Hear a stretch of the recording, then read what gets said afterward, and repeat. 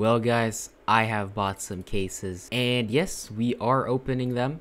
And when I inevitably get 5 blues, we're to be trading them up. So we have 5 cases. We have a recoil case, a dreams and nightmares case, a Spectrum 2 case, a revolver case, and finally, the big boy, the weapon case 2. So uh, let's get started with the revolver case just because that is the cheapest. Are you looking for low float skins for trade ups? Check out today's sponsor, Skins Monkey. It's a very convenient trading bot site that charges no overpay for floats. I found these two 0.01 consumer skins and used code TechSavvy for a 35% deposit bonus when depositing and got the tradable skins instantly. Oh, and did I mention that if you're new to the site, you get a $5 bonus to trade with? You do have to trade to activate it, but it's a little bit of extra. But don't worry if you don't have any skins. The site's always running at least three giveaways, so there's definitely something for you as well. So check out Skins Monkey through my link in the description and the pinned comment.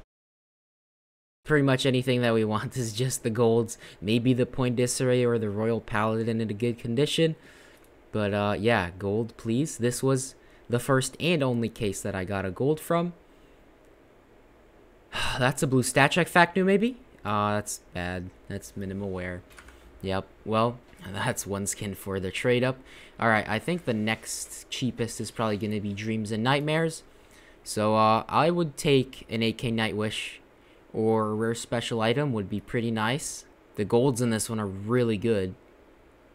Well, not today. That's another blue towards the trade up. This might be a good condition. Oh, never mind. It's field tested. Alright, next up the recoil case, the most recent case. I'll take an ice cold, a print stream, a chromatic aberration, or some gloves. Even if it's the worst gloves, needle points, I mean, I'll take it. I wouldn't complain, you know. Anything good, maybe? No, what a surprise. We got another blue in minimal wear this time. Alright, next up, the Spectrum 2 case, AK Empress M4 leaded glass. Very special item, Gib please. It's been a while since I opened anything good from cases, although that's probably because I don't really open cases. And we get another blue in field tested. Well, here's the big boy, so um, yeah. I don't know, I don't know what I want to get. I want to get anything that's not a blue, pretty much.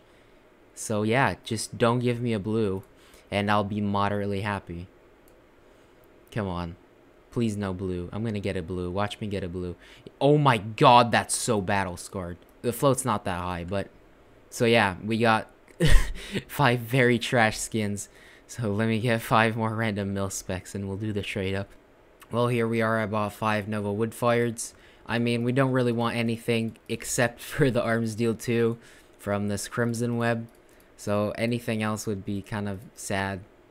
So yeah, let's just rip the band-aid off. I mean, it's less than a 10%. There's no way we're getting it. Yep, there we go. The scavenger.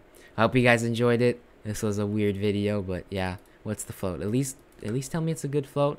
It's a bad float. So yeah, I hope you guys enjoyed it, and I'll see you in the next one. Subscribe to Tech Savvy Scientist for ultimate luck.